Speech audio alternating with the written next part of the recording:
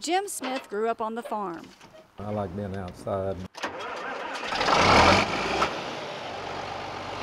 And for the past 30 plus years, that's where he spends his time, out on his pecan orchard in Shawnee. Moisture and sunlight and good fertility and you'll have good pecans. At Benson Park Pecans, Jim sells his pecans for retail, and along with his crew, they do all the harvesting themselves, beginning with the gathering. He carefully attaches the pecan tree shaker to the trunk of the tree. Then he literally shakes the pecans right off the limbs. You can actually shake the green limbs out of the tree if you want to shake hard enough. But he knows when to stop, leaving a nice pile on the ground for picking. The 150 acre orchard has 1,100 pecan trees on it. Many Jim planted himself, except this native one, which he calls the grandpa tree because it's 550 years old. It's a giant and it's been preserved by USDA. And still produces native pecans every year. The orchard also grows 50 different varieties of improved pecans, which are brought into his processing plant here on site.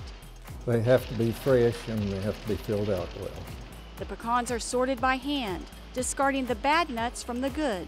Then they go through the cracker. This cracker right here, it cracks 500 nuts a minute and then it goes into this elevator and that's the sheller.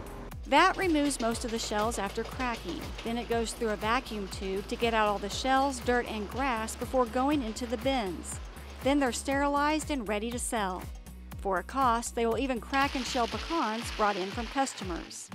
During the holiday season and during our harvest season, we get quite a few people in to buy our pecans. And they will also order pecans for their family and have them shipped out. Inside the gift shop, you can find native along with Pawnee and Kanza nuts for sale.